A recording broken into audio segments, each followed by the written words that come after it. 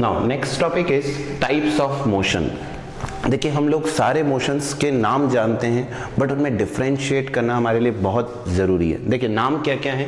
First is circular motion पढ़ा है हमने पूरा चैप्टर अभी पढ़ रहे हैं रोटेशनल मोशन एक आपने पढ़ा है लीनियर मोशन और एक होता है ट्रांसलेशनल मोशन तो हमारे पास चार तरह के मोशन हैं यहाँ पर सर्कुलर रोटेशनल, लीनियर और ट्रांजेशनल।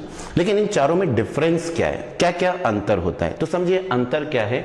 फ़र्स्ट अब आपको ये क्लियर है single particle and what is system of particle केवल एक पार्टिकल जैसे अपन ने अभी चौक का एग्जांपल लिया था, केवल एक कैल्शियम कार्बोनेट तो one particle and large number of collection of calcium carbonate तो चौक बन जाएगी and it become system of particle now अब सपोज़ करिए, ये एक सेंटर है और इसके अक्रॉस केवल एक पार्टिकल घूम रहा है सिर्फ़ एक पार्टिकल समझ में आ रहा है? Single particle revolving around a centre single particle move करता है then it is known as circular motion what is circular motion motion of single particle in circular path clear हमने जब पढ़े थे एक गाड़ी गोल घूमती है तो हमारे लिए जब रोड पर एक गाड़ी गोल घूम रही थी तो वो गा, गाड़ी सिंगल पार्टिकल तरह हमें माना था।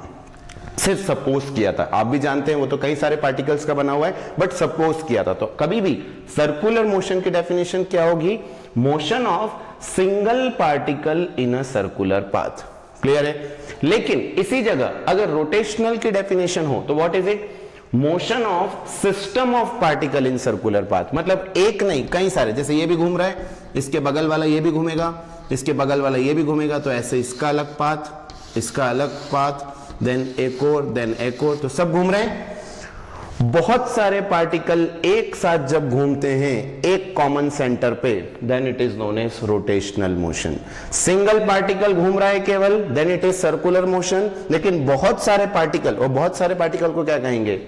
System of particle motion of system of particle in circular path is known as rotational motion जो हमारा अभी चैप्टर रहेगा। मतलब हम यहाँ पर एक पूरी बॉडी को घुमाएँगे अराउंड ए सर्कुलर पाथ मतलब कई सारे पार्टिकल एक साथ किसी कॉमन सेंटर पे घूमेंगे। That is known as rotational motion और सर्कुलर में हम सपोज़ करते थे एक पॉइंट और फिर उसको एक पाथ पे घुमाते थे। Then it becomes circular motion third linear motion of single particle in straight line देखिए, अभी था पहला motion of single particle in circular path तो it becomes a circular motion but अब अगर वही सिंगल पार्टिकल सीधा चलता है motion of single particle in straight line then it becomes a linear motion तो लीनियर मोशन में मूवमेंट केवल एक पार्टिकल का हो रहा है स्ट्रेट लाइन में। लेकिन इसी जगह, जैसे ये एक पार्टिकल है और ये मूवमेंट कर रहा है then it becomes a linear motion clear इसी जगह ट्रांसलेशनल क्या हो गया? Motion of system of particle in a straight line मतलब एक, दो, तीन, चार, पाँच, ऐसे ये सभी